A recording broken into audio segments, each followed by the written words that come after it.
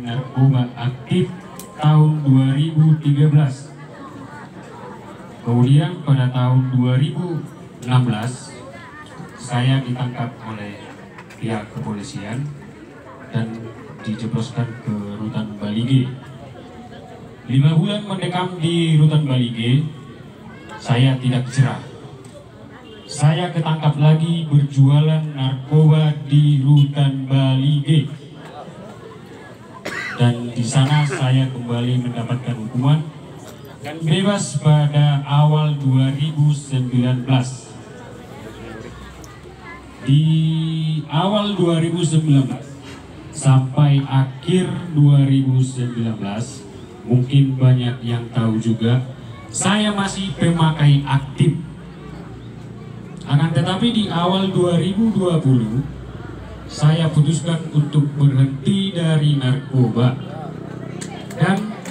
Di sini di hadapan masyarakat Tambunan terkhusus kepada masyarakat Toba Samosir, saya secara resmi ajak bergabung untuk memerangi narkoba dan atas niat untuk memerangi narkoba di sini kami membentuk komunitas kecil yang terdiri dari ibu-ibu. Jadi kepada Ibu Elsi Arwan, saya persilakan untuk ada di samping saya.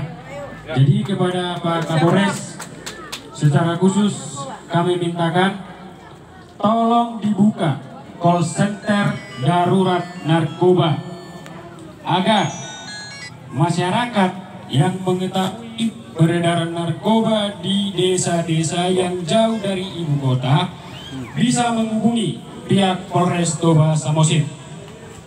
Demikian juga pernyataan sikap saya saat ini sesuai dengan instruksi Presiden Kapolri Kapolda dan ini pesan saya atau pernyataan secara khusus kepada pihak Polres Toba Samosir jika saya masih terlibat dengan peredaran narkoba Pak Kapolres, saya tidak perlu ditangkap atau dihukum. Saya minta ditembak. Di tempat mati saja.